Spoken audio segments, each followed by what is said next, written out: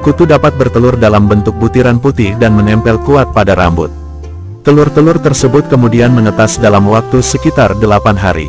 Perkembangbiakan kutu sangat cepat, terutama melalui sentuhan dan kulit yang bermasalah.